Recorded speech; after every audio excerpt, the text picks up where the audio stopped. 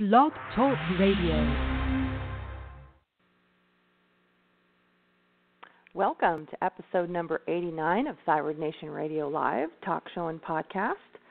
I'm Tiffany Mladinich of Grateful Garden Biz and Mending Medicine, and my co host, Danna or Bowman, founder of Thyroid Nation, is coming soon. We're having some connectivity problems. Today we are talking with one, the one and uh, oh, for Pete's sake! I'm, I'm like, here. wait, I don't do that. no, I'm here. I'm here. Sorry, I don't know. Well- I was trying to wait to the very last minute to see if the uh, other phone would work, but it just didn't. So I apologize. I hope the audio is okay with my with my phone. That's crazy. very, very crazy. Okay, so I'm here. I'm here, and we are talking with the one and only Dr. Izabella Wentz about her new bestseller, Hashimoto's Protocol. Can't wait. Whew. Yes, now we're going to temper down that cortisol surge. of course, Danna and I want to remind you if you've missed any of the Thyroid Nation radio podcasts, and I was talking to someone the other day, we have had some great people on here. It just Yeah, amazing. It's just such an amazing journey. So, if you've missed any of those awesome podcasts, you can super easily download and listen to them at your leisure on iTunes, Google Play. Thyroid Nation is is just all over. So, uh, pick that up and and listen to that anytime. Yeah, and we just uh, recently purchased the domain www.thyroidradio.com, so we will be connecting that to make it easier for everybody to find us. How cool, right? Oh, cool, cool, cool. That's awesome. Yeah, because I was Right, I was looking so- at Dr. Um, Dr. Hotze. I, was that how Uh-huh. I pronounced it? The guy Yes, in uh, the doc in Texas. Mhm. Yeah. Uh-huh. Uh, he followed me on Twitter, and I thought, wow, you know, that was an awesome interview on hormones and. Um, and then I started thinking, and he called us. really. He called us from the back nine. He called us from the back nine. He was on the golf course.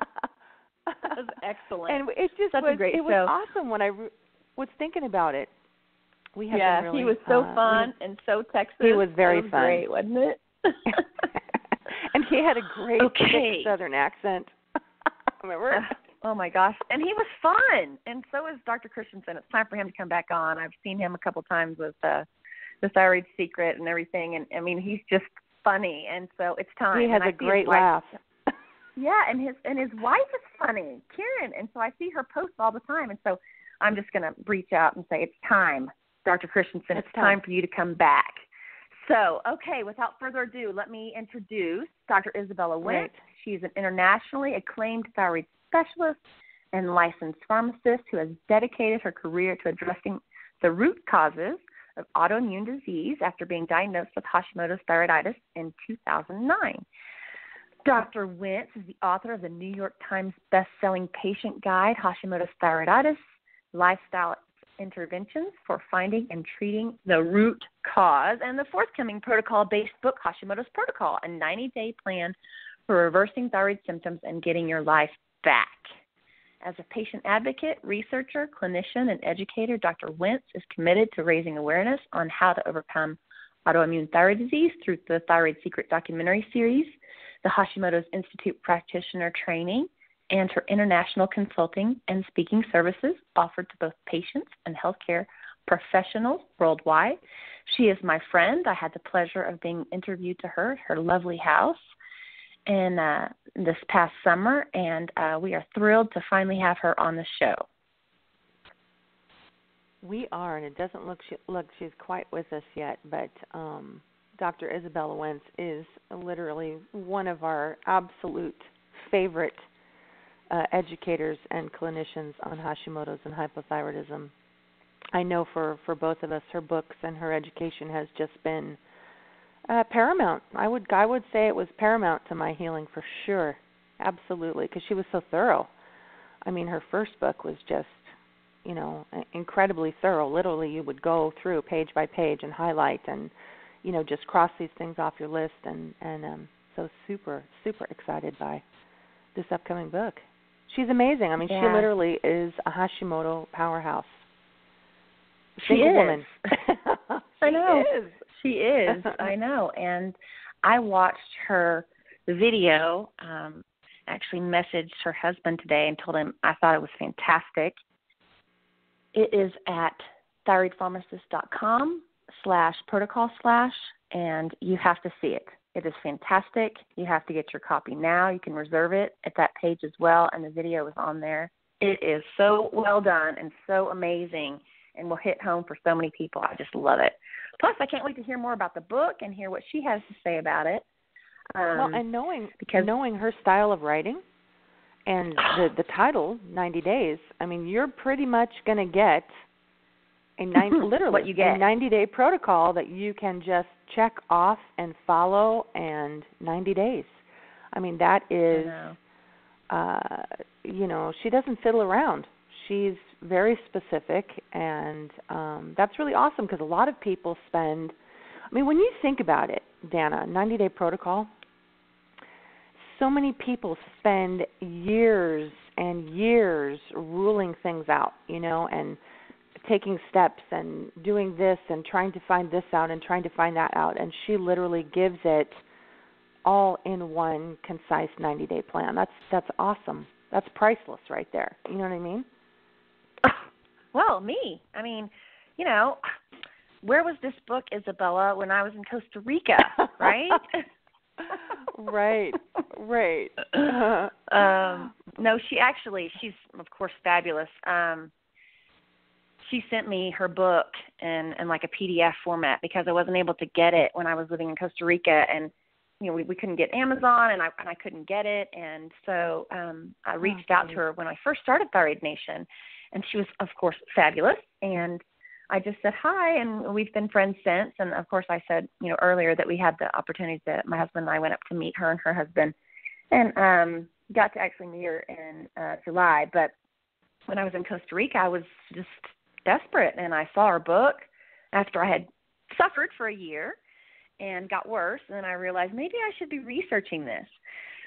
And a big mistake waiting a year. So um anyway, and she said of course, if, if you can't get the book, I'm sending it to you. So she sent it to me and like you said it was, you know, it's paramount what she says and and you know, when you know Izabella, she's she's going to give you what she says. So if her new book Right. says um so 90 uh, days. Yeah. yeah, then it's going to be.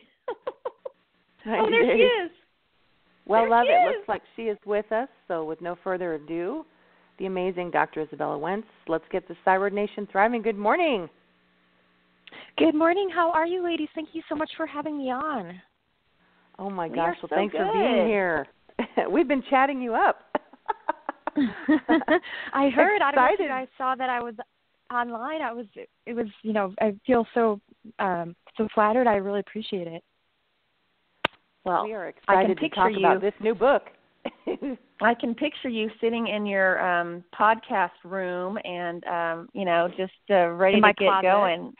Your closet, right? Yeah. Isn't that funny? um, I'm sitting on the and- floor. I'm sitting in a yoga position on the floor, meditating. well, I got both of you guys beat. I got my legs up. I'm leaning back. I'm ready. oh my gosh. We're ready to talk uh, Hashimoto's protocol. So tell us, hi, how are you, Izabella? And tell us um, just, you know, hello and, and tell us what you've been doing before we get into the book. Hmm. Well, as both of you ladies know, I've been working on the thyroid documentary series. Both of you are in it, and I'm so excited to have um, to share your perspective and and your journey with thyroid disease as well. And that Oh that's gosh, been keeping me pretty busy um, the past six months, year or so. And prior to that, I actually was writing my upcoming book, Hashimoto's Protocol. Um, this took me about two years to write, and um, I've been editing it. You know, really like the last seems like the last eight months or something like that, where um, trying to get it in just the right tip-top shape of making sure that it's easy to read, that it's not there's not a lot of repetition, and that it just really shows people a path back to their health. So I've been doing that. I haven't been doing yoga as much as I would like to. So I hope to be starting that again soon. Well, we I loved your first book. I mean, uh, uh, we were chatting you up before you came on, and and your first book to me was an absolute critical piece in my healing of just highlighting and you know ruling out and crossing off and and asking for testing and I just literally can never thank you enough honestly so I'm so excited for the for your new book because it's going to be awesome Thank you. I appreciate that. I've yeah, I I really think it's going to help a lot of people. My my goal Uh oh, we're losing her. I think she's Uh-oh. cutting in and out. Uh oh. I wonder if that's why you had trouble getting on too. Let's see. She's still on, so maybe she's just or maybe takes she's just months. cutting. Huh? Okay. Sorry you cut out. I'm so sorry you cut out. Oh, can you hear me now? She's probably. We can. you can. We can hear you loud and clear. You started to talk. It's not like there's any static or anything, and then we just lost you in one big chunk. But Danna had quite a bit of trouble connecting, so I'm wondering if it's if maybe Blog Talk Radio is having some issues this morning. Yeah, I was having some issues too. So, hmm. well, we'll Let's just can't jump into it. it. Yeah, Let's exactly. jump into that. Let's jump into the Hashimoto's protocol because we're excited and we have lots to talk about. And of course, we both loved your your first book, um, as as did most everybody we know. So we want to talk about um, the Hashimoto's protocol. Let's do it. Um, so the whole premise behind Hashimoto's protocol is was actually inspired by one of my readers. Her name was T- Tereska. Izabella, I really love your first book, and I really love digging for my health. But can you like just give me some done for me protocols and just like recipes? Give me some like the exact supplements I need to take, and just give me like a plan, like a 30, 90 day plan, right? And I was like, well, I- didn't want to do that at first because I didn't want people to think, um, you know, I was in cahoots with some companies or, you know what I mean? Like, I didn't want people to think I had conflicts of interest or that I was just recommending things for whatever reasons. But then, you know, this idea kind of stuck with me, and I was like, wow, there's so many people that could use that could really, you know, use something simplified, and it finally hit home with me when I was um, working out with this Pilates instructor. And this woman was brilliant, and she knew everything about Pilates, and she was like telling me exactly which muscles the movements were working and then she was quizzing me like asking me like which muscle was that and i was like i have no idea and then she gave me pilates homework and then like pilates videos to watch and i was like listen lady like i just you know i just want to look toned in a swimsuit. Like this is way too much information for me. Oh, Um, funny. and then i was like oh well maybe not everybody like no, wants to be like a hashimoto's expert. And i was like wow that that's like a revelation. Like i never thought of that you know? Um Yeah. so then i'm like how do i like make it easier for people? And through the course of working with clients after you know after getting my own health back i started consulting with others i was like initially i was you know using my dig at it approach where i was looking at what are some of the triggers that are causing this for you. And it was you know it was a it was a lengthy process and some, sometimes people felt worse before they felt better or sometimes it took a really long time to get them to start seeing like major improvements. Obviously we'd see some improvements with gluten and dairy right away but then it was like you know there were sometimes people were reacting to supplements and i wanted to figure out what i could do to help more people like feel better faster like these are the kind of things that keep me up at night right and Right, um right. the usual functional medicine approach is to go after the adrenals, the gut, and then do a detox, or to go after like the gut and then um, you know, and then do the adrenals and then the detox. And I was like, huh. It's interesting because a lot of the people that are reacting to supplements, the reason why they're reacting is because they're not metabolizing them properly. And I was like, what if I gave them some liver support and gave them some strategies like foods and supplements and you know what to cut out, what to change in their personal care routine and see what happens. And so I started doing that with people and I was like amazed because after 2 weeks of liver support, people were like, "Wow, I feel so much better." And these were my hard clients that weren't getting better. And these were people that had worked with functional medicine doctors that weren't getting better or had tried things on their own. And I was like, huh, I think I'm onto something. Like people are really responding to this. And so then when I developed, um, I developed a group program called Hacking Hashimoto's.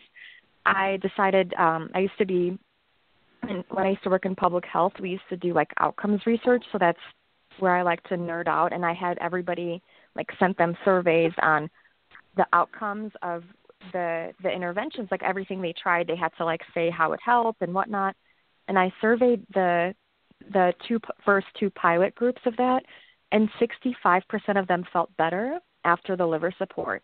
And we've had some amazing like transformations. So just within like the first two weeks one woman was um had multiple chemical sensitivities. She had headaches she had joint pains elevated thyroid antibodies and fatigue and this was around Christmas um, a couple of years back, where she started on the liver protocol, and then she sent me an email that week, and she was like, "Hey, I am at the mall with my daughters. Like I haven't been to the mall in ages because." you know all the perfumes and all the oh, candle wow. stores and and all those places they give off scents that people who have multiple chemical sensitivities can't tolerate and she's like, you know, my pain has resolved. My fatigue is so much better. My headache's gone. And the next time she tested her thyroid antibodies, they were lowered as well. Now we still have to do some other things, um, you know, to get things in order, but it, it was just amazing to see what can happen within one to two weeks when people really start to awaken and they really start getting their energy back and they they shed some of the pain and some of those things that were you know really preventing them from feeling their best and um you know feeling like their brain was working. So that was um something that I've implemented and I decided you know once I tested this I wanted to get it out into the world. And so I worked with a fantastic book agent to develop the Hashimoto's protocol based on the liver support protocol, an adrenal support protocol, and then the gut protocol, which are my fundamental protocols that I've tested with over over a thousand people now. Wow. And um, they go through like wow. the targeted steps that everybody can do to benefit that everybody can do, um, no matter what their root cause is. And then the second part of the book is where I get to get really nerdy, and then I start talking about what are the different root causes and I've developed some assessments. I used to do like 800,000 question assessments with my clients and then my my publishers who've been like really good at like how do you make this information the most useful and the easiest format they were like can you cut it down to a 100 questions and so and I was able to because I just picked out the most important ones right um right, and so right. it it's it's you know it, I, what I really hope for it is that it provides people a roadmap that they can use and get themselves back to health so that they can follow their dreams and do whatever their heart desires. Because we know that once you get your energy back it's like your world becomes much bigger. And this can oh, help people sure. worldwide. So that's the that's the key. But i want to i want to jump back to something you said about chemical um sensitivities um really quick just because that is a real thing you know, my mom and oh, dad, oh, bless their heart, um, you know, they don't get it. And, you know, I think I had kind of chemical sensitivities and, of course, thyroid issues most of my life. And, you know, family and friends, they think I'm, I guess the word is hypochondriac or, you know, dramatic or whatever. Whereas I'm like, oh my gosh, that is so strong. I cannot even, I, I help, help me. But it really is a real thing. And that's a huge uh, testament to to you and your book and your help that you know like, this woman had this couldn't go to the mall and then you know um you know Wow, we're getting go to the mall crisscross again. of I'm another sorry, I was show getting, going there. Yeah, I was getting another show. I sorry, I stopped talking. Something must be going on. Um that's very strange. Anyway, so yeah, so that's just a big deal because those candle stores, whew, they can kill you every time. Oh, for sure, for sure. You know, Izabella, I I would love to jump back to the liver if that's okay with you because that's really something that we rarely I mean, I don't want to say never hear about, but it really doesn't ever get talked about in depth. And when you talk about how much improvement you saw um that's just amazing to me because unfortunately conventional medicine, you know, deals with literally, you know, two tests of liver function and as, as long as you're within that range, that's the end of that subject.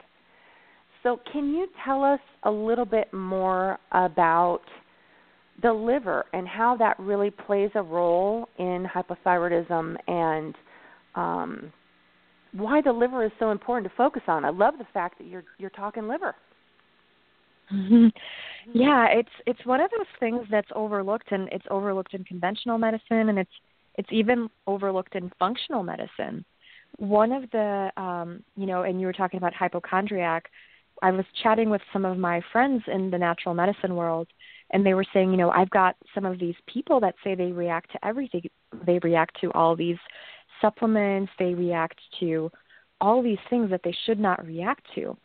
And I was like, yeah, you know, I actually have had clients like that. And once we put them on the liver protocol, they don't react to things anymore. They can tolerate supplements again. And when you think about the primary role of the liver, this makes perfect sense. So the liver helps us activate things, and the liver helps us um, get rid of things. So there's um, basically different pathways that the liver takes on and when we have a lot of, you know, inflammation in our body, when we have a lot of toxins in our body, when we have a leaky gut, when we make circulating immune complexes, which are present in every autoimmune condition, the liver pathways sort of get backlogged. So think about, you know, if you're driving on a highway somewhere and everybody's trying to eh, driving somewhere and everybody's trying to take the same exact roads, you get a little bit of congestion or, you know, traffic, right? And that's essentially what happens with the liver. The liver receptors or enzymes that carry out different toxins and that turn on different types of um, you know beneficial substrates for us to the more active form these kind of get like a backlog. It, it, it it's like an office worker with with stacks and stacks of of government paper, papers that they have to process. And, and and you know and your one application that should take 5 minutes doesn't get processed for 5 years right? And this is something that is very much overlooked. Um, the interesting thing too is T4 to T3 conversion. A lot of it happens in the liver. And then when we have a person with hypothyroidism, they're not sweating. So that's another way that they're not getting toxins out. And so then the toxins go to the liver.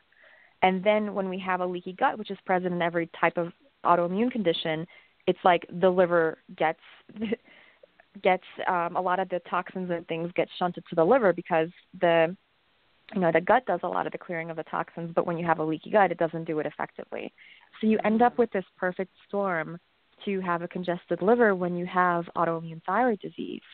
And the amazing thing is when you support your liver and you give it some nutrients and herbs and you remove some of those um, some of those you know papers from from the office worker, then your liver starts working better, and you start seeing the toxins clear out, and then you're no longer sensitive to everything in your environment. So you know, like again, going back to the overworked um, worker, like you know, I know when I'm overworked, or if if uh, my husband's ever overworked, you're like, hey, can you do this one little thing for me? And it's this thing would take like a minute, but you're like, oh my gosh, I can't take anymore. And so, um, and that's that happens that's to me all the time. Right, yeah, and that's kind of my definition of multiple chemical sensitivity. It's like not one more thing. Like, please just stop it. I have enough on my plate. And the amazing thing is you can support your liver and kind of you just stop giving it extra work for for a time being and then you can recover like beautifully. Um, like I said, 65% of my my Hashimoto's people that did the liver support for two weeks, they felt significantly better. About 30, I would say I want to say 33, maybe 35 percent um, felt no difference, which which is fine. Wow. You know, it's it's not going to be something that's going to hurt you. And then um, about I, I want to say anywhere from three to five percent felt worse during the liver support. And the symptoms they were having were pains and um, anxiety, insomnia, and headaches. And I was like, huh, that actually sounds like magnesium deficiency. And so, sure enough, um, and and when you start clearing things out your liver, you you actually might become magnesium deficient because some of the toxins when they leave they take magnesium with them. And so sure enough, then we put people on more magnesium and then the headaches, the joint pains, the fatigue and then some the the insomnia and the anxiety went away. So so that's something that I've incorporated now where I tell everybody, you know, you you you want to make sure you you also start on magnesium when you do this. And yeah, it's it's been working really really well. I'm I'm excited to, you know, to go into details or share whatever you guys want to know. Yeah, well, I love well, the I fact. Jump, go ahead. sorry, Jen. I'm excited. We're both no, excited. No, I want to I want to jump into the um you know to the liver because it really is so important. And i'm so glad that you're you know you have this book and that you're sharing this information because you know i think back to when i was diagnosed you know and, and it's going on five years which is you know crazy. And if i'd had this book you know if i'd had this information laid out i would have thought of the liver first or i would have thought of the liver you know, like at all. Like it took me a few years even you know with all the information i have and all the shows you know for to even consider the liver because it's just not talked about in that in that realm. And it's such an important organ. I mean, as well as the thyroid and everything else, but sweating and detoxifying of the liver and getting all the the bad stuff out and, and your hormones that you don't need anymore and all of that stuff. It's so important. And I I'm gonna start some kind of movement. I don't exactly know what, but mindful sweating. I don't know what it's going to be, but because people think oh people get so afraid. You know, when you don't feel good, and you have Hashimoto's or you have you know thyroid issues, you're tired and someone says exercise or working out and you just like want to go oh my you want to roll your eyes and you just like i don't mm-hmm. have the Mm-hmm. energy to how am i supposed to work out and, and sweat and get rid of these toxins and so i'm going to i'm going to create some kind of movement because it is so important and you know that you know like they have the near infrared the far infrared saunas where you know if you want to just sit you can not that i'm not saying that you shouldn't do movement because i believe walking at least you know helps and all that but you know doing something that makes you sweat to help get rid of that is so important. I mean, I'm so glad you're you're um, you know leading with that and and and sharing that with people all over the world, Izabella. It's really a big a big deal. Mhm. Yeah, th- thanks for that. And I definitely think it's it's kind of funny because people when you go through and they talk about all their thyroid symptoms, they're like, I'm so tired and my hair's not growing and my hair's falling out and they go through all these symptoms that are, you know, that are thyroid symptoms but nobody ever complains about not sweating, right? It's never something that like we complain about, but that's also a big symptom because when you have hypothyroidism, you don't sweat properly. And so with my clients, um I always ask like are you sweating? And they're like, "Oh, yeah, no." And then like you start getting them to do hot yoga, infrared saunas, you know, just maybe like even hot baths could be a great start to start moving out some of those toxins.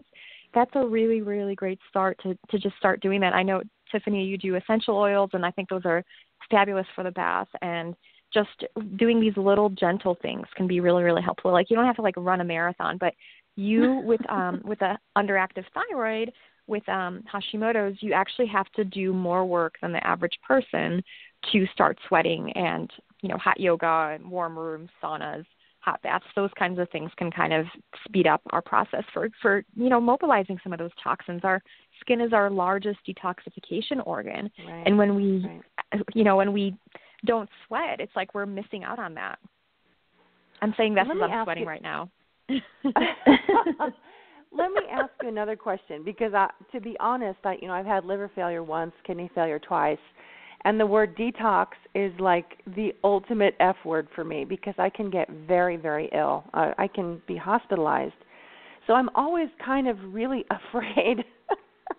you know, anytime you hear the word detox, I have to do it really gently. I mean, if someone does a really aggressive massage on me, it it will make me extremely ill for like 4 days.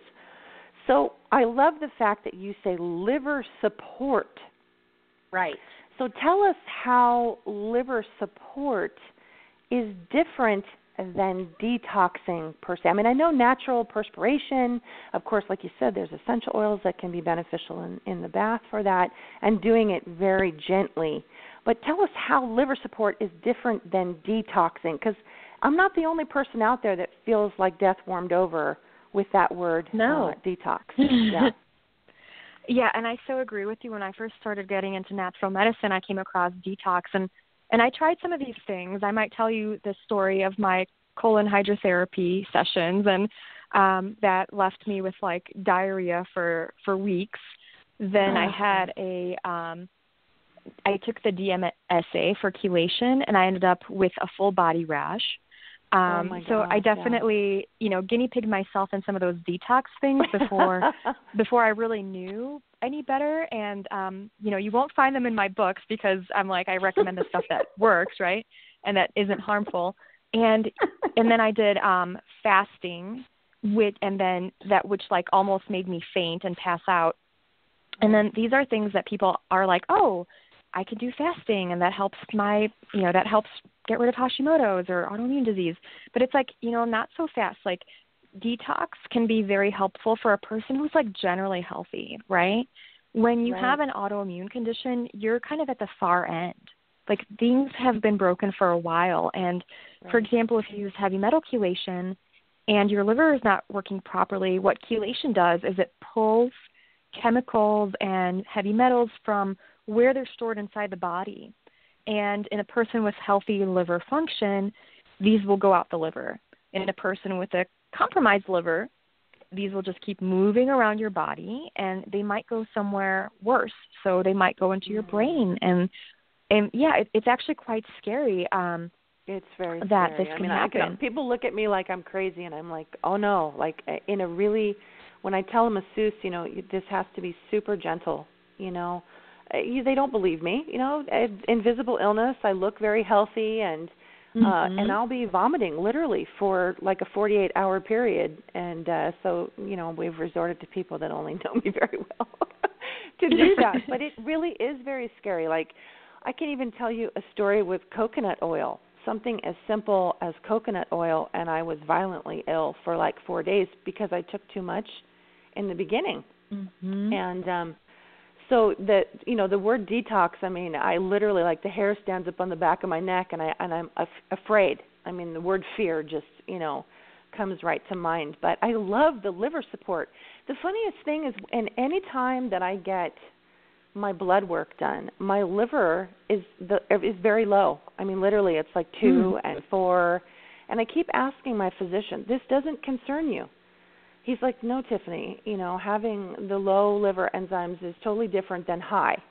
You know, high is where there's a problem." And I've looked and looked and looked for literature, and no one really ever takes much note of when it's low.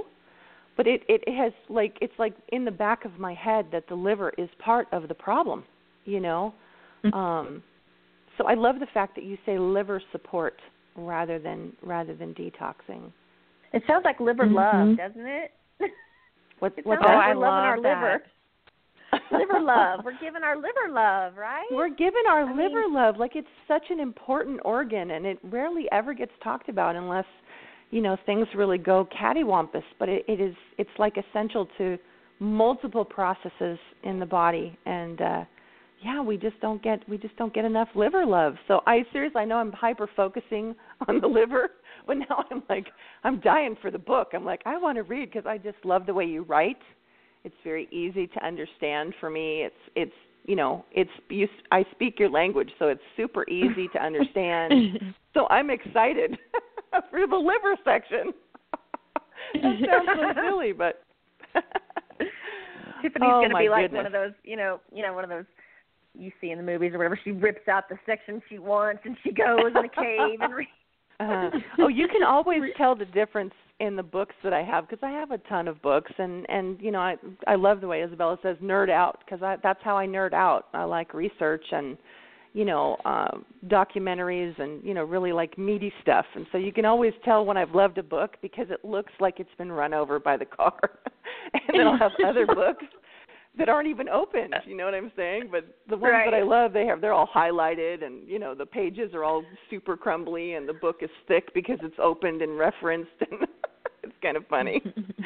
Uh, it's a good way to tell that. So we need to see a uh, before and after pic of, you know, when you Totally, get the book, right? you take a picture, and then what six months later, how fat and ugly it looks. I can't wait a before and after Hashimoto's protocol picture. It's gonna be awesome. Oh, I love it. We should start a That hashtag, is totally right? You know, Robert Tisserand, Right, we who is should. a, a an essential oil chemist, and he wrote uh, an amazing essential oil safety book that I recommend to everybody. I don't care whether you're novice or expert or, but it, the the research that's in there. And this book, when he signed it, he took a picture. He said, "I have never seen my book in this condition.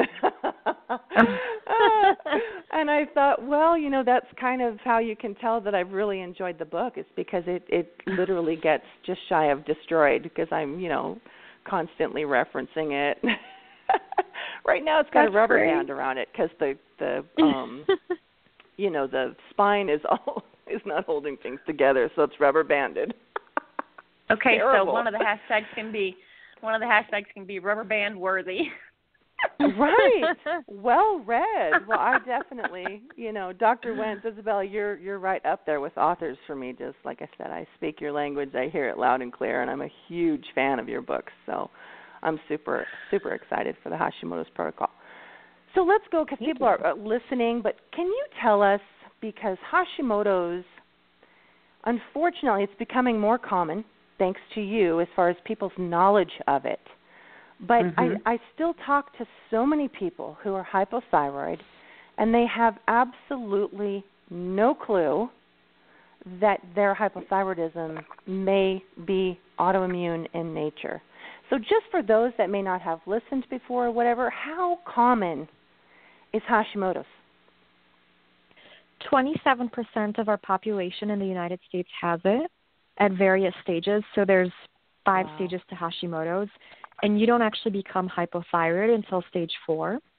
But the symptoms Which can take the, some time. That can take Yeah, some time, yeah. correct, between Hashimoto's and, and hypothyroidism, right? on average about 10 years or so um and so and the the crazy thing is you know it takes about an average of of 10 years to get diagnosed and women will start having symptoms as early as stage 2 and that's when their antibodies can be found against their thyroid gland. Now mo- and then you know that goes on and gets progressively worse and conventional medicine basically says okay we're well if we find antibodies we don't really do anything right because we can't. But and they they medicate people with um thyroid hormones at stage 4 and the scary thing is stage 5 is actually progression to other types of autoimmune conditions so if you Mm. only take thyroid hormones you're at risk for progressing to lupus or rheumatoid arthritis. You know it might not happen overnight. In some people it it happens you know very very quickly. In other people it takes 10 you know 5 years 10 years 15 years. But there's that progression going on. And if you do nothing to stop the inflammation and the autoimmunity within your body, you're going to end up potentially with um, with another autoimmune condition. And this is also important because you know people are told that they have hypothyroidism. People are told that they have a sluggish thyroid, that their thyroid's not working, that their thyroid's lazy. I- I've heard some crazy things.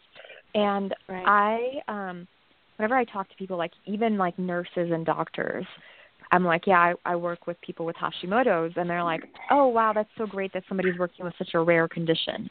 And I'm like, are you kidding me? Like, do you know anybody that takes thyroid medication? And they're like, well, yeah. And I'm like, there's about a 97% chance that this person has Hashimoto's. So in, Ah. if you're living in the United States, 97% of the time, if you have a thyroid condition, it's actually Hashimoto's, but you've never been told. So your doctors probably don't test you for antibodies because Right. they think there's nothing that can be done. But you can actually prevent the progression of the condition. You can reverse your symptoms and your condition when you go after the autoimmune component. So like really beyond going after the hormones. So like if you have if you take thyroid hormones, if you've been told you have a sluggish thyroid, there's about a 97% chance you have Hashimoto's. Even if you know, I recommend getting tested for thyroid antibodies. TPO and thyroglobulin antibodies are the ones to get. TPO and TG.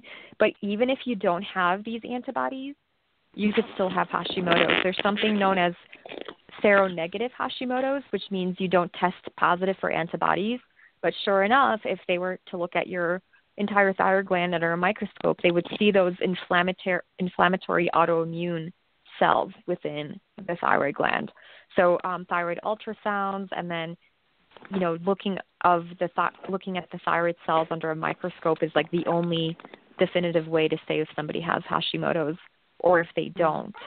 So so pretty much my advice is if you have a thyroid condition and hypothyroidism, then unless you know you don't have a thyroid gland or had radiation, then you should just assume that you have Hashimoto's and do everything um, that you would if you had Hashimoto's.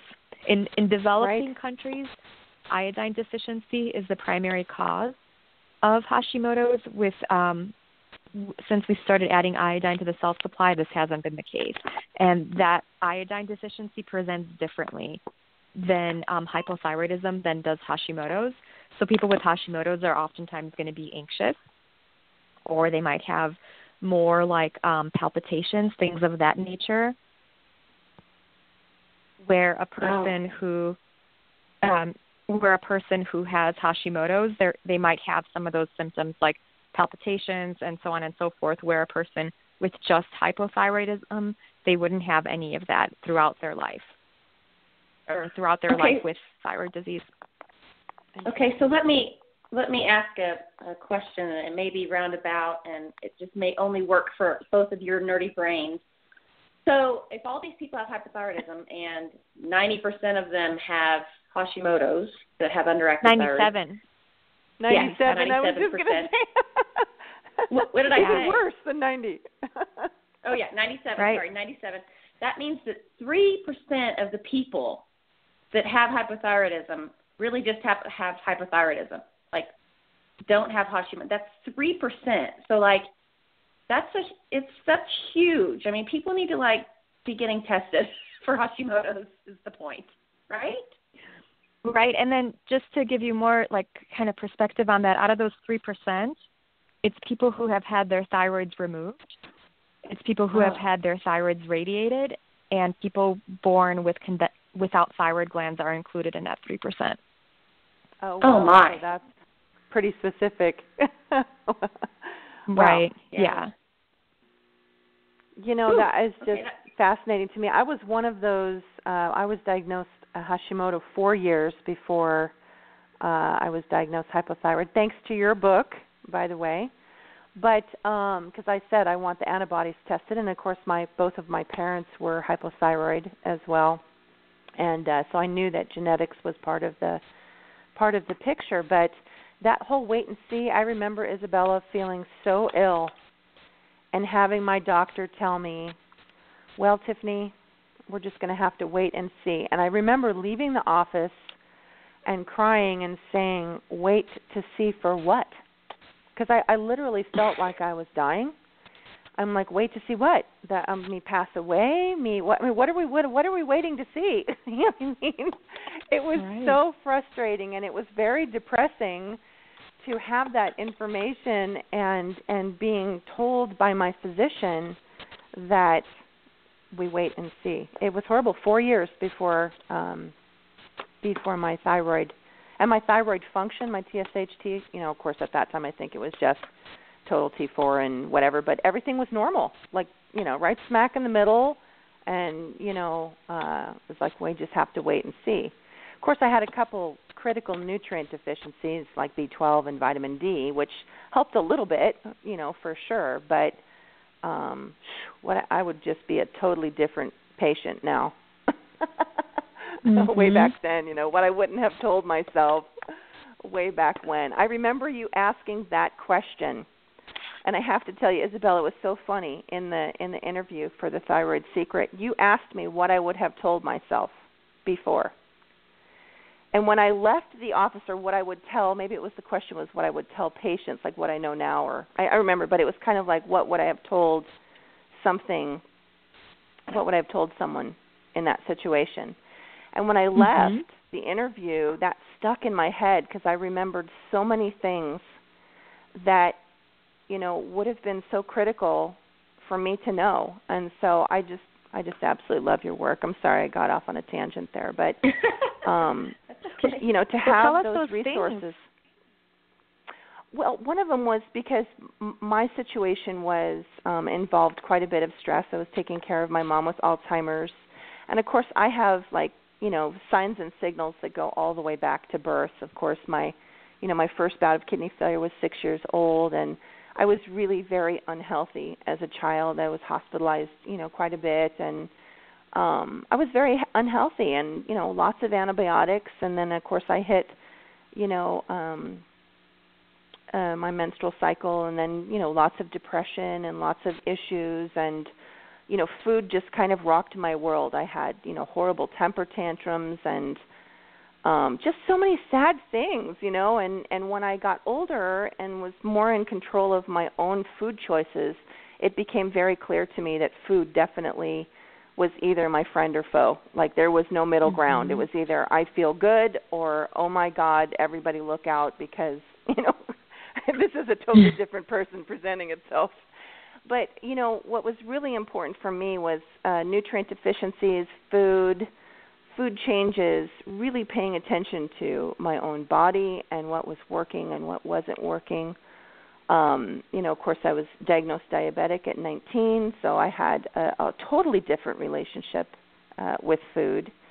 And um, so when I got pregnant, which I, I really was never supposed to, and God only knows why, but um, I wasn't well with my first child. And um, I think for me, knowing what I know now, especially having had the HELLP syndrome with my first child, was – I want to know. Like I if I were to talk to a woman in a childbearing age, it would be like you need to know this stuff before you ever think of getting pregnant because you have this little person that's going to be developing in your body that's going to unfortunately feel and and grow or not grow and all of these things based on your body's ability to house that growth.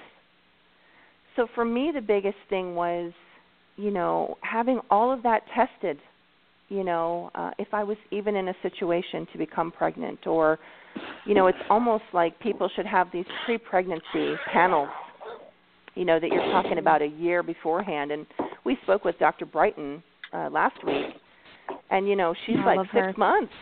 You know, minimum six months or more. You know, you need time to, to prepare your body and make sure that everything is is you know is ready for that. And so for me, that was really the biggest thing because I had four children, and you know, uh, fortunately, uh, I was taking a very good prenatal vitamin, and I even wrote that company a letter and said, I cannot thank you enough for using 200 micrograms of selenomethionine, you know, 16 years ago, right? I mean, who was doing 200 micrograms of selenium 16 years ago in a prenatal? but I really mm-hmm. feel that that played a huge part in the health of my three children that came after my son. Because see, with my son, I didn't start taking my prenatal vitamins. Of course, you know, you find out you're pregnant six weeks in. You're you're two months in. You know, baby's baby's already booking at that point. You know what I mean? so I really feel that that played a huge role in the HELLP syndrome, and of course, HELLP syndrome has been fairly well documented with uh, with Hashimoto antibodies.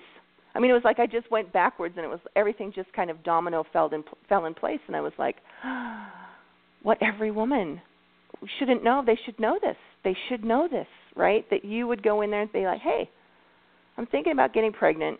I would like all this done. Let's do this. B12, vitamin D, you know, ferritin. Let's, you know, do the antibodies. Let's do the free T3. I want to make sure that that my body is prepared and ready to go to to make these people grow into happy, healthy individuals. So for me that was the the biggest thing. I would say that would be my my biggest regret because of course Izabella that involved the growth of for other people. You know what I mean? What what we do to ourselves is one thing, but in a in a pregnancy situation, you're you're you're bringing another person into the world. So I mean, to me, it's like a crazy no-brainer and I don't understand why all of this isn't mandatory. You know. Mm-hmm. So that's wow.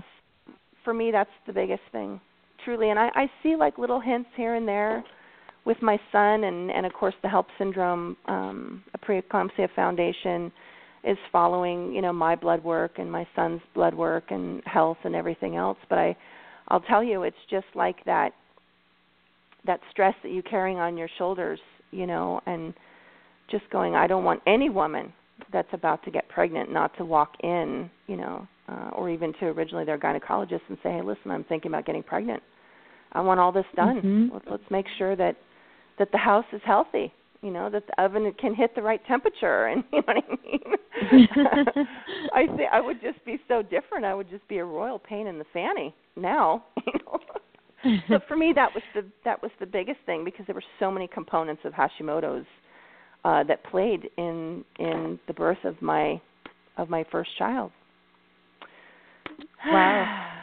Yeah you um you bring up so many points that are that are that are super important with women and fertility. And you know i actually think that we women are you know obviously we have 5 to 8 times more thyroid disease than men do. And its primary reason is because we carry the big responsibility of bringing new life into this world right? And when we ourselves are not fully nourished when we're not um you know optimal with our hormones then that's going to affect generations moving forward and forward. Um you know i really think this is actually part of the reason why women develop thyroid conditions more commonly is because we are so tuned into our environment that any kind of signal that something is off in the environment basically sends our bodies a signal to like lower our reproduction and um, make us have you know higher high more difficulty becoming pregnant or having some of these issues throughout pregnancy. And part of the reason is you know if if we're very toxic or if we're very nutrient depleted it would be you know in cavewoman times it would be harder for us to survive if we were pregnant and it would be harder for our children to survive if we um if if we were in times of a famine or a or a challenging situation. And so a lot of times it's like what's the modern equivalent of that? And and uh, you know nutrient deficiencies are very much a modern equivalent of being in a famine. And this is because our diet is so processed and we're not spending time mm-hmm. outside. So we're not getting enough vitamin D. We're not getting enough selenium because it's hardly in any of the foods that we eat now. And um you know that this is sort of something that sends your body one of these stress signals or I like to call them safety signals where you get the message that you're not safe if you don't have enough mm. nutrients on board and that slows down your thyroid glands and you know one of the things i always talk about is what are you doing in your life that is making you feel that's making your body and your thyroid feel like it's unsafe so for example if you have a um a lot of stress in your life that can make you feel like like it's unsafe and your mm-hmm. body in order for it to protect you would try to slow things down. Um, you know if you weren't eating enough your body would try to slow things down and um, help you rely on fewer calories. And and i always like to kind of think about this and talk about this because it's kind of a reframe when you think about like what the conventional approach is to the thyroid gland. It's you medicate it you radiate it you suppress it or you cut it out and then even with us patients we talk about being thyroid warriors or beating thyroid disease where the thyroid is actually trying to send you a signal. It's trying to let you know that something is going off without your within your body. And you know, my hope is that doctors will be better at reading these signals and also that patients will learn how to read these signals that we will all be kind of in tune and say like, "Hey, what's my body trying to tell me now? Like, why am I hypothyroid?" And it's like, let's look at what's causing inflammation or what's causing me to have stress. That that's kind of how my little theory on on it. Oh, so for sure. And so my Epstein Barr didn't get didn't get diagnosed until two years after my thyroid function uh, changed, and I was on thyroid medication. And it was like I still just you know crushing fatigue. I just you know even on the thyroid medication. But then once those you know titers tapered down, and I had done some things, you know I came down. um from 90 to uh, to 30 on my thyroid medication. And I often wonder, like I, I I think about, you know, it keeps me up at night, you know, thinking about how many things really should be checked off ahead of time before someone really goes on thyroid medication. I mean, it did definitely make me feel better and with four kids that was I'm so incredibly grateful for the thyroid medication, but I'm also incredibly grateful for your book because to me you basically told me you know just because you're on thyroid medication doesn't mean that your work is done here you know what i'm saying like it still constantly was you know was still just nipping at me to to find the root cause. And everyone's can be so different, right? And there can be so many at one time. It's not like it's a singular, you know, one and you're done. I mean, some people I'm sure get lucky with that, but for right. for the yeah, rest like they of go us, gluten free and everything turns around, right? right? And you're like, Yeah, oh, how lucky you are. That's amazing. you know. Yeah, no, that definitely didn't work for me. Um, but you know, also nu- nu- nutrient deficiencies. You know, what are some of the main ones, Izabella? Because that's a really, really big deal that gets overlooked. I mean, maybe you know they test maybe the vitamin D or something, but what are some of the main, um, you know, top ones that that you would absolutely, definitely have on this list that we're going to make up, take into our doctor? Yeah, so um so as both of you ladies mentioned, selenium is a big deficiency. So majority of people with Hashimoto's with thyroid disease are going to have a selenium deficiency and it's not necessarily something that you can test for because it's the tests aren't just the best. So Might not generally- right, yeah. right 200 to 400 micrograms is a safe dose that's used in things like prenatal vitamins right the high quality ones. And so that's Right. something that you can generally do on your own and it's been shown to reduce thyroid antibodies by about half. And it really helps with with that anxiety. It helps with hair growth um, helps with t4 to t3 conversion and fantastic um, you know for preventing actually postpartum thyroid issues. If you take it during pregnancy helpful for graves um, really, really great. Um, magnesium is also something that can be helpful, and that's there's not necessarily a test for it. Magnesium citrate seems to be the best form for people with anxiety and with constipation. Glycinate might be better if somebody tends towards diarrhea. Thiamine is another really, really common deficiency, and around 600 milligrams per day has been shown to resolve thyroid fatigue. I wrote an article about thiamine a few months or a few years ago, and I still get like hugs from random people at conferences that are like, "Wow, thank How you so much much for your thiamine wow. article. It gave me my life back." I saw one woman who Okay. was on disability with and with who was on disability and once she started thiamine she was able to go back to work um, so those are kind of things you could do on your own as far as your doctor goes and things you don't really want to kind of Okay, wait. necessarily Let me stop you. Let me Yeah. stop you really quick and, and give you and give you a virtual hug because Tiffany knows where I'm going with this. But I watched The Thyroid Secret, and thiamine was one of the things. I don't know whether you talked about in your first book or not, but it totally escaped me. And I was as I was watching it, I was like, okay, I'm doing it. So I got online and I ordered it, and it came in a couple of days from Amazon. And ever since, I've been taking it. Mo- Both my husband and I have been taking thiamine. It worked almost immediately, Izabella. Mm-hmm. Almost immediately. Like I mean, like that day, I felt different. It was, wow you know, and I, yes. So here's my big virtual hug for you for thiamine because I, I was, I told Tiffany, I was like, this is, you have to, you have to check this out because Izabella talks about it, and you know, I'm, I'm, I did it, and Travis and I tried it, and you know all the issues I have with my adrenals and thyroid and Hashimoto's and all that. And so I told Tiffany, and so yes, so here's my virtual. Thank you, thank you, Your thank you, virtual. Izabella. Next time I see you, you get you get a real hug. Oh yeah, I'm I'm so happy to hear that, and yeah, I'm so happy to hear that it's it's better um, for you with your adrenals and hopefully energy levels. The um, interesting thing is, um, some people I know that have had trouble getting their adrenals stabilized, that have ton of blood sugar issues, and then they have um, low blood pressure. You start them on thiamine, and their blood I can't talk. Blood pressure normalizes, and I used to be, I used to run my blood pressure from like it was like 90 to 50, right? 90 over 50. And my doctor, I would go into her office and she was like, "How are you walking? Like you should like Right. you're pretty much like you should be comatose right now." And um when I started the thiamine that was quite a few year, many years ago, maybe 4 years ago, 3 years ago. And 4 years ago. And my blood pressure has been normal ever since then. So it's always like 120 over 70, 116 over, you know, 76 or something and it's it's never been nor- uh, it's never been um low since that point Well, So that's that- you to know, know, I Izabella- will big check my help. blood pressure. I've got to ask you real quick. Have you ever heard about uh, thiamine being high in California?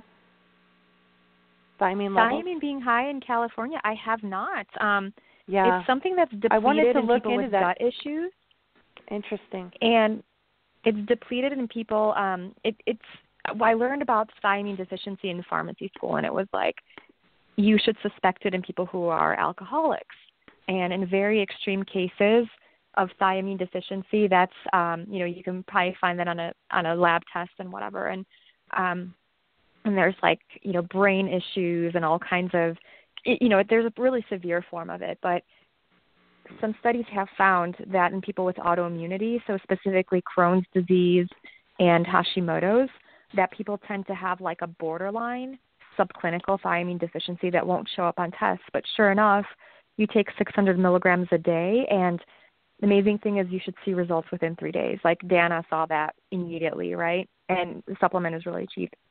You can see Have you improvements ever- very, very quickly.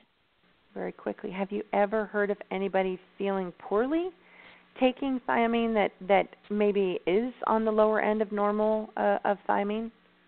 Would that maybe be a I- liver? yeah, I personally have not. Um, one of the things with the B vitamins is that they are metab that they're not like absorbed in the body, so you sort of pee out what you don't need. So the What you B don't vitamins tend to have a pretty low like they don't build up in the body like vitamin D does. But yeah, I mean whenever um I have people who have reactions to any of the B vitamins, I'm thinking like methylation and liver right. and how do you Right, get right, right. um and, and that's why you know I I would say I haven't but in my clients I always start them on liver support first. Well, now you now Well, you know somebody because that's Tiffany. So I'm just telling you. I'm I'm like crazy you know drug somebody. sensitive. Yeah. I'm crazy drug sensitive. Like I take ridiculously low amounts of things otherwise it causes me big problems. but um yeah, it uh Which I uh, think but it's not so just it's not just thiamine. It's it's there are many No. things. It's No, but I think it's so interesting nuts. to note, um, Izabella, because Tiffany and I both have Hashimoto's and we both have, you know, similar issues, and yet we're both so absolutely different. So to me, that just, you know, reiterates what we say on the show all the time. Everybody is so different. There is no one way. Because here I am, I get your, you know, I, I see the the episode, with thiamine, and I'm like, okay, that's it, I'm doing it. I do it, I order it, and a couple days after I start taking it, I'm like, Tiffany, and I tell her, and she goes, "Oh yeah, thiamine is, you know, it doesn't work for me." so Yeah, you know, I mean, yeah. you just you never never know, right? But for the most part, I would say Tiffany's, you know, an extreme case. So, so uh, yeah, I definitely am not. I think Danna has labeled me opposite woman. Yeah. and and you I've know been dealing Tiffany, with that since childhood. that's something that I've seen in people with liver um congestion is that they're sensitive to supplements.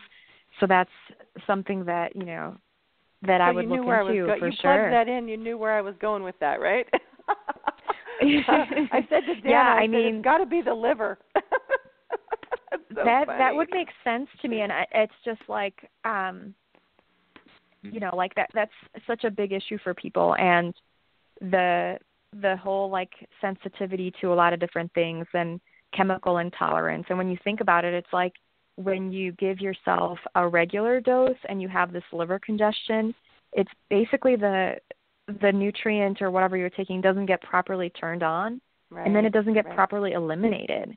So like for people with liver issues, um, you know, I, I haven't seen any studies to this, but it's like like we say that everything gets cleared out, but for them, are they actually retaining things longer than the average person, right, within their bodies, and that's causing potential issues because generally, if your liver is working fine and if all of your pathway, pathways are working fine, you're going to be clearing out most of your vitamins except for A, D, E, and K, which get stored in our fat.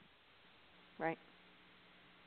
Well, and it's it's Okay. it's funny Um, that you say that. Like it, there, you know, there's not a whole lot of research, but you know, in my head and in my nerding out, which is you know usually in the shower for some reason, I have these moments of like you know clairvoyance and clarity in the shower for whatever Mhm. reason. But you know, uh every time I've had the kidney or liver failure, it's always been in a situation of uh some kind of chemical or toxicity overload. So there's really no warning.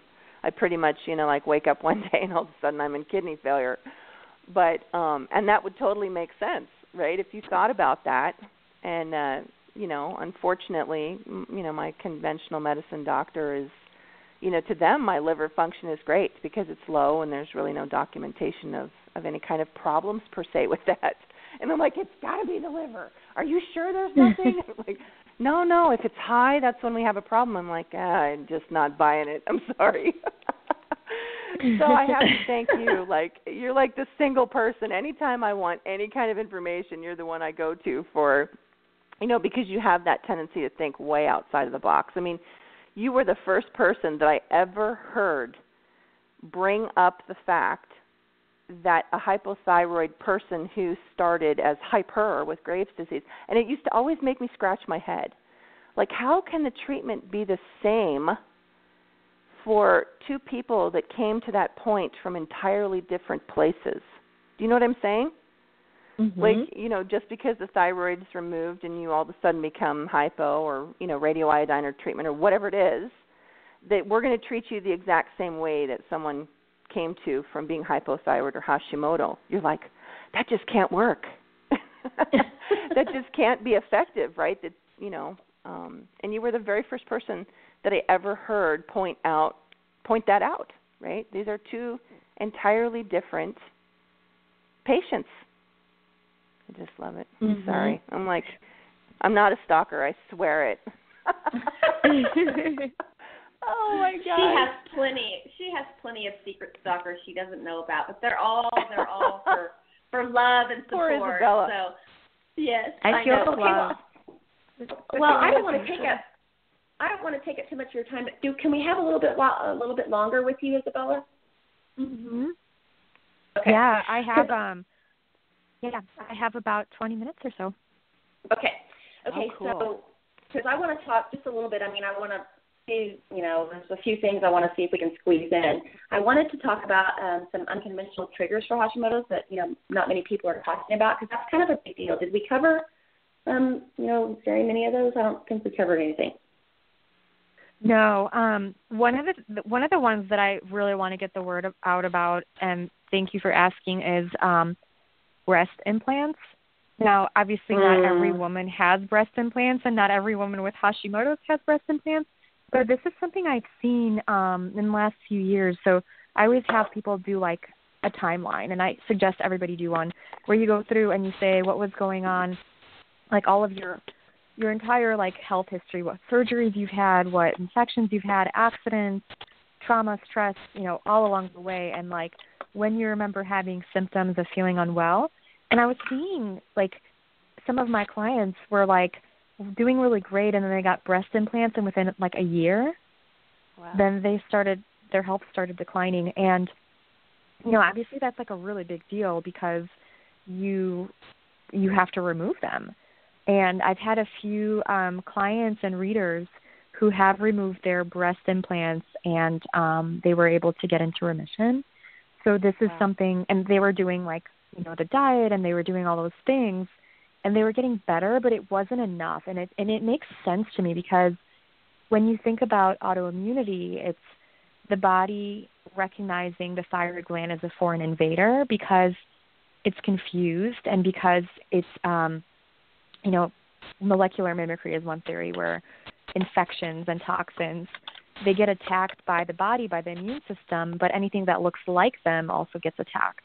And so the you know there's so many different chemical structures in various places that it's plausible that you know the breast implants for some reason may look like the thyroid gland or perhaps they just overburden those detox pathways where we're not detoxing properly and we just build up a ton of you know toxicity within our bodies so that's like one kind of unusual one that i don't think a lot of people think about um And I want to just throw in there too to add to that because it um, it is a really big deal. And just to put it out there, I do have have implants, so I'll be looking um, deeper into that. But I'm in a Facebook group about it, and I've seen some amazing stories about when people get them explanted, post explant pictures, and just all kinds of things. But I want to mention that it doesn't matter what kind of implants you have, or if they're leaking, or if they're not, or if they're perfectly fine.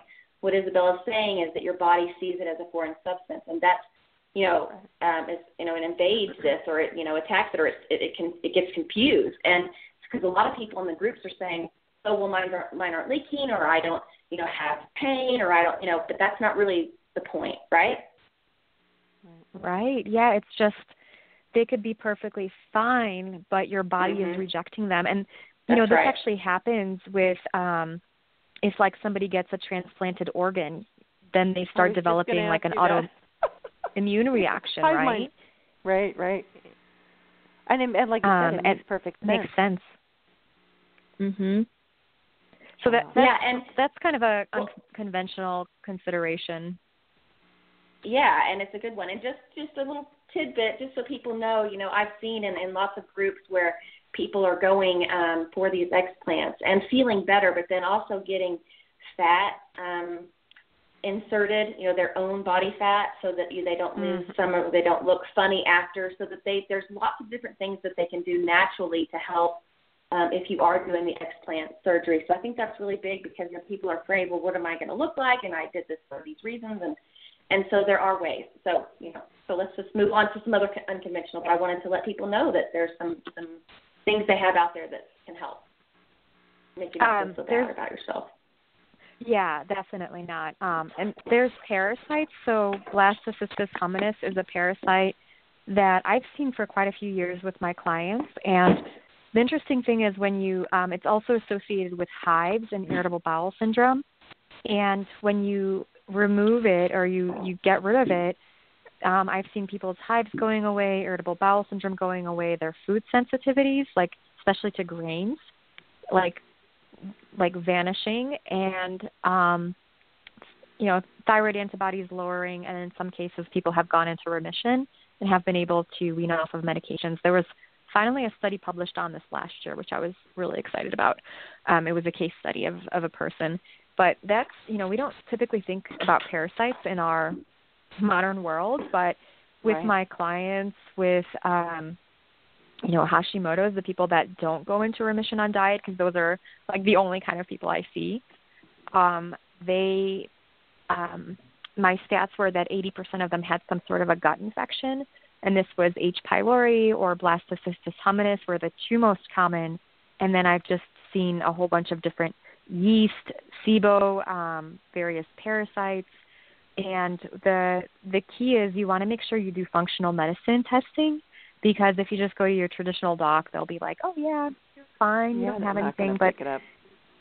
there's a lot of false negatives. So I recommend the BioHealth 401H test, and then the GI effects pro- profile is another good one, or the GI map, and that, that's a functional medicine test that people can do. Um, you can you can get it through your functional medicine doctor if you don't have one. I um, on my thyroid pharmacist site, I set up a few different like portals where people can self order labs through various companies Oh, because I know sometimes it's like finding the doctor is half the battle, and and I know some people like to do like me, like to do their own like experimenting. So there's you know resources out there for for you that you can you you know take advantage of to to do your own testing. You don't necessarily need to be dependent on a doctor.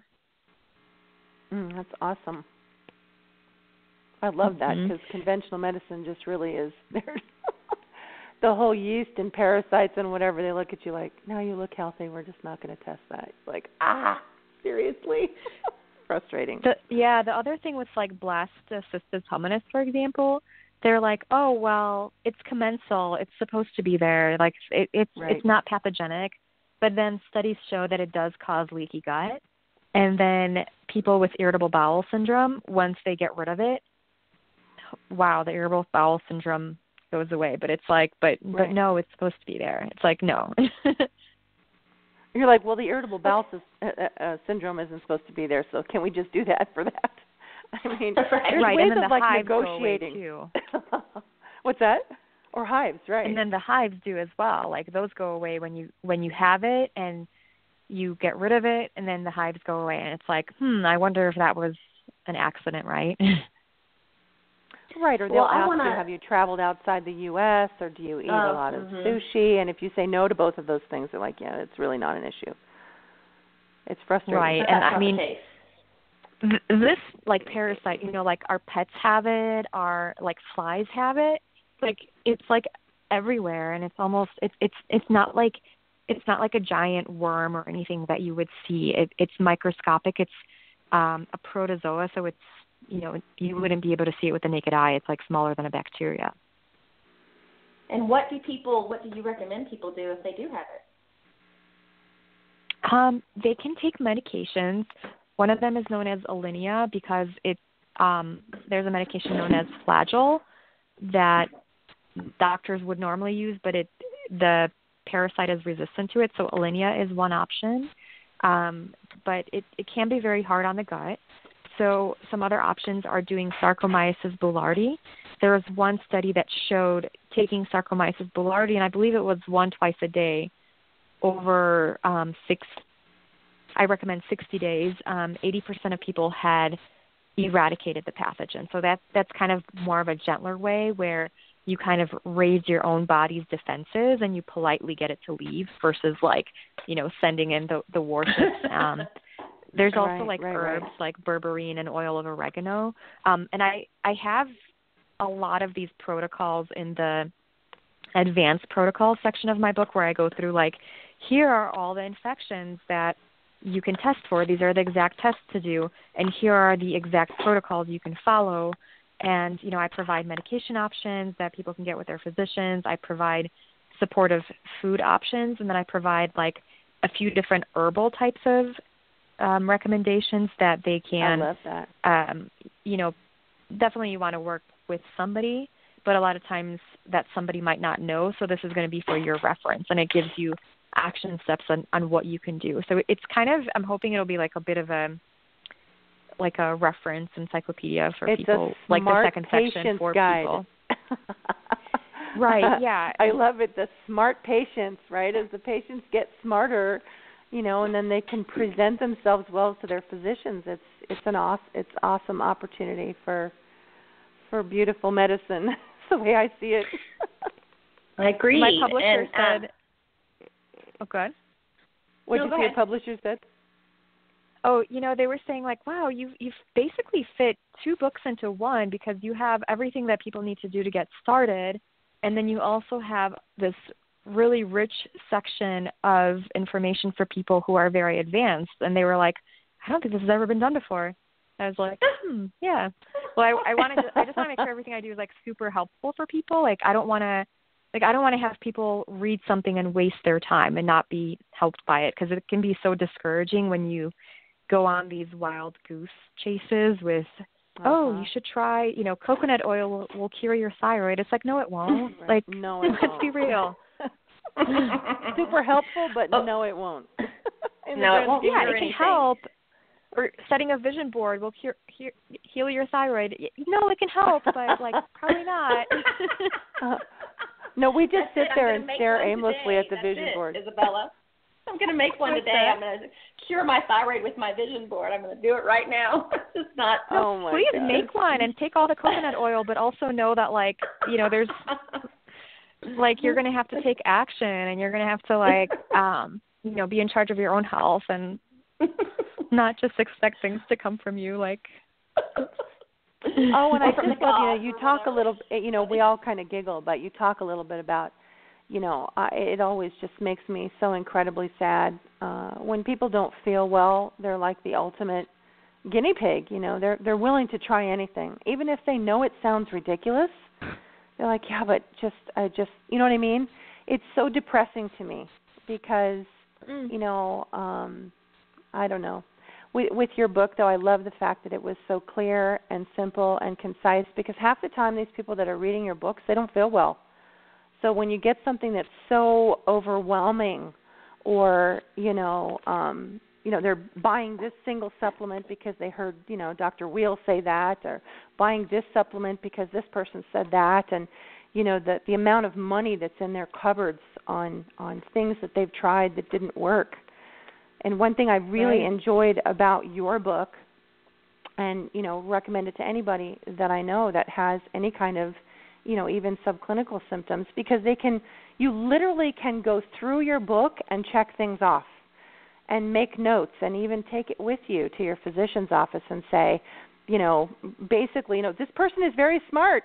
you know, she's a pharmacist. This isn't someone who just wrote a book because they felt like writing a book. You know, and you can educate your physician at the same time.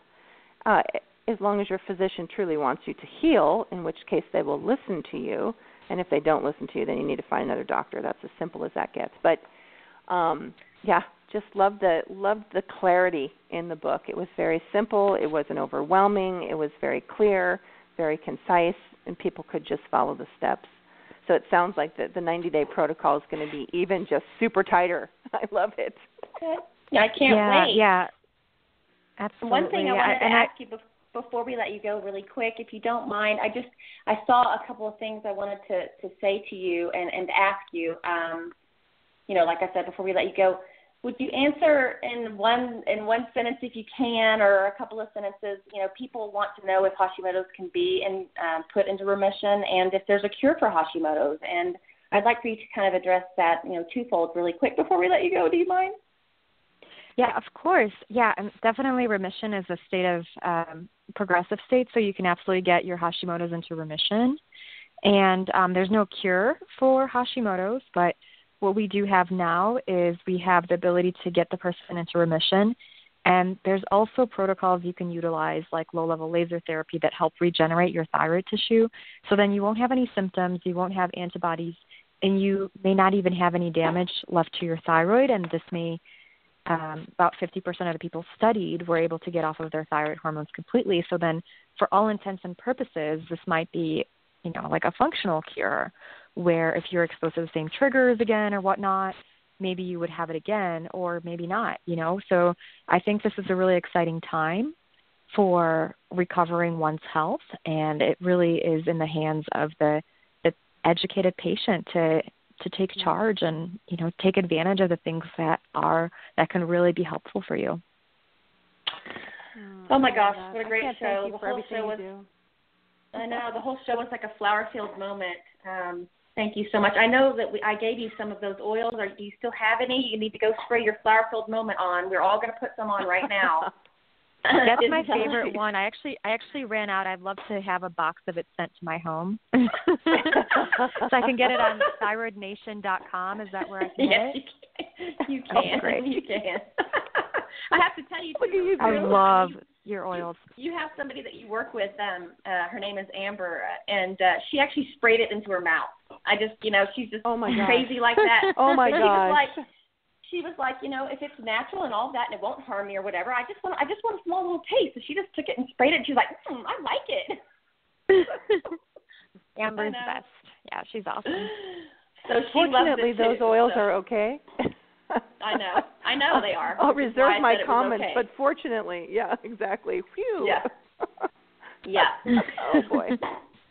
Well, this has been just amazing. Um, we wish you all the best, and uh, we loved having you. And of course, once you finally get time to settle down, which you probably never do, we'd love to have you back. So thank you so much, Izabella.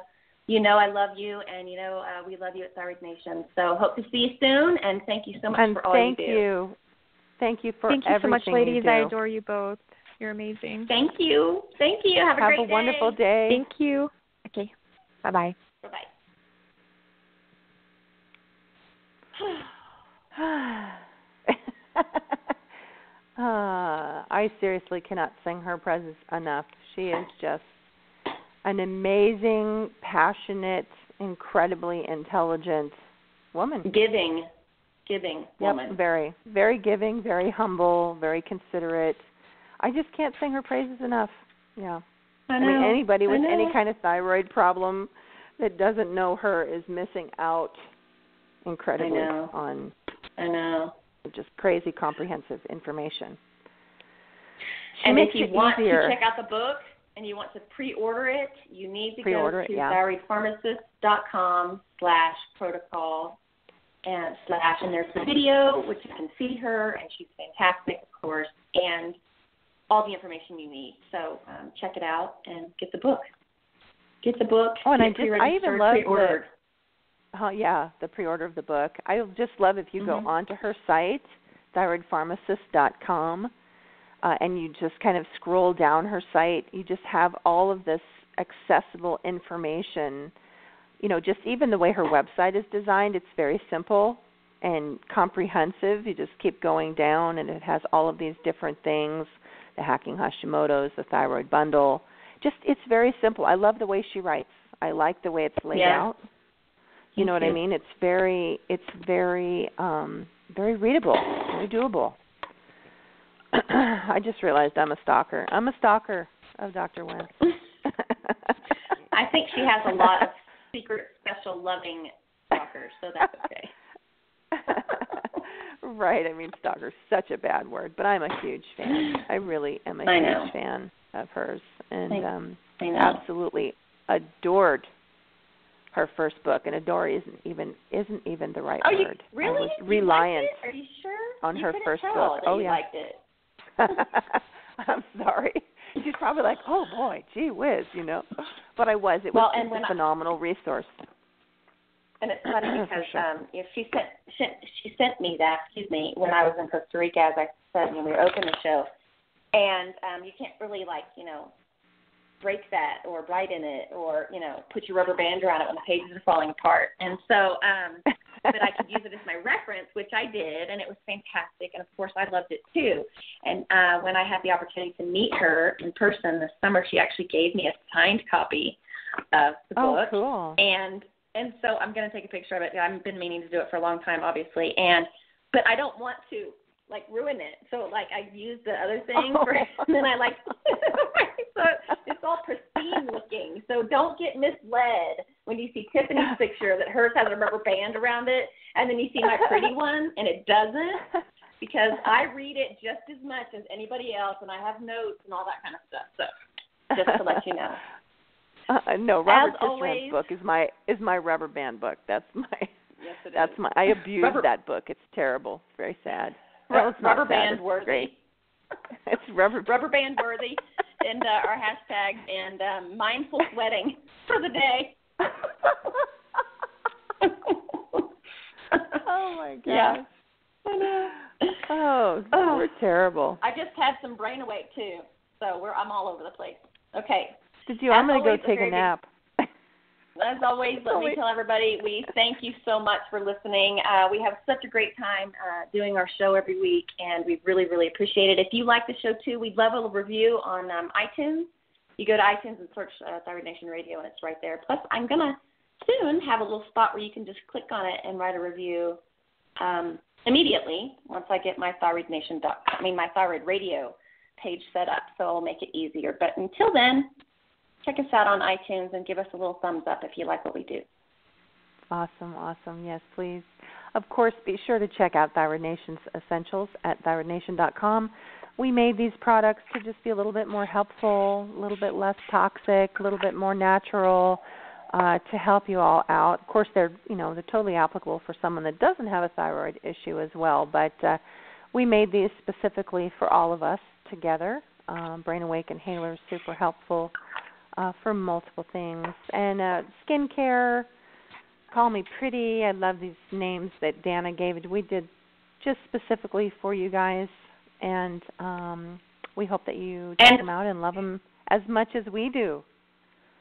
And What's that? of course, you could spray flower filled moments in your mouth. We don't recommend it, Yes, but it is definitely not harmful. please, please don't do that. Yes. No, no. but just So, clean, um, preservative, synthetic-free skincare, and and some helpful uh, natural products for you. And uh, as Isabel said, it was her favorite. So it's nice to know and nice to know she likes it. So check them out, as we said, and make sure to follow Thyroid Nation on our Facebook group and all the social media platforms. And we have a Hashimoto's and Graves uh, support group on Facebook where we uh, you know list all the upcoming guests and we have information and uh, people ask questions. And so it's a great place for support. Check that out. And thank you for most joining us today. yes, most importantly, Danna, and I always want to remind you that wellness is a journey and takes continual maintenance and evaluation. Please make sure to always listen to that brilliant, dynamic body of yours and be mindful of what it is telling you. Yes. what a great show. Thank you guys. This Mhm. is Danna, your Thyroid Nation, Green Gatika, living in Colorado Springs. and Tiffany Mladinich of Grateful Garden, bringing the. That's my line. I know, right? um, and Grateful Garden and Mending Medicine. So um, yes. Tiffany has a new venture, so you have to check that out as well. We are all here to bring the collective voice of thyroid thyroids worldwide so that together, united, we heal. Thanks, guys. Bye. Great show.